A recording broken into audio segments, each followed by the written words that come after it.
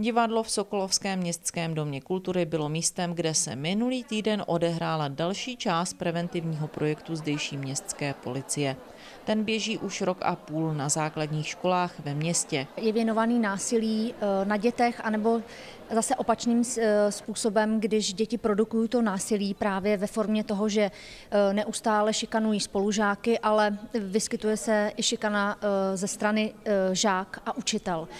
Proto jsme eh, paní magistru požádali, aby zkusila opět oslovit eh, učitele a pomohla jim eh, se nějakým způsobem vnořit odborně do toho problému a pomoci jim, jak se s touto problematikou mají v jednotlivých třídách vypořádat. Nastavíte nějaká pravidla, tohle se dělá při, při tom vyučování, tohle se nedělá, blá, blá, blá, blá. Budete tam mít děti, které mají jako kdyby extrémní potřebu to pořád testovat, jestli to jako myslíte vážně, a když to myslíte vážně, co se jako stane, když to ne, nemá. Takže vy něco řeknete, že má něco dělat a on hned udělá ten opak, případně to neudělá a teď se čeká, on čeká, co uděláte vy.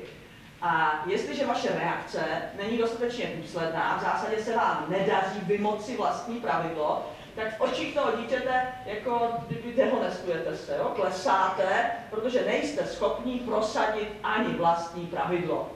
Proto velmi opatrně s vytvářením těch pravidel, abyste v zásadě byli schopni ta pravidla e, vymoci. Velmi poutavou a fundovanou přednášku si vyposlechli pedagogičtí pracovníci nejen ze Sokolova. Projevilo vícero učitelů z, i z ostatních regionů eh, Sokolovská eh, zájem jít na tuto přednášku a říkám, my patříme opravdu mezi městské policie, které nemají problém spolupracovat, alespoň v rámci eh, Karlovarského kraje, takže jsme opět oslovili všechna školská zařízení, všechny městské policie, radnice, aby se přijeli podívat.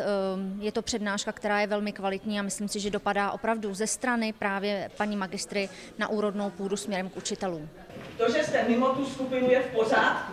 Jakmile se cítíte být příliš součástí skupiny dětí, dělejte ze sebou něco. Matete je v rolích jedna a jednak, jakmile, i když se slyšíte, že třeba mě je s těmi dětmi lépe než v té zborovně. No, no to je dost nebezpečný.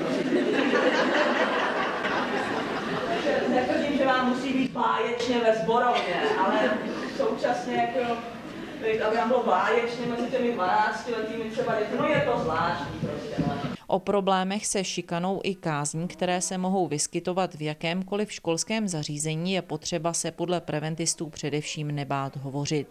Nástroje a postupy, jak tyto nežádoucí jevy řešit, jsou. Rozhodující je nakonec ale vždy postoj školy a pedagogů, jak se k situaci postaví. Součástí rozsáhlého preventivního projektu městské policie je i elektronický docházkový systém nebo protipožární cvičení.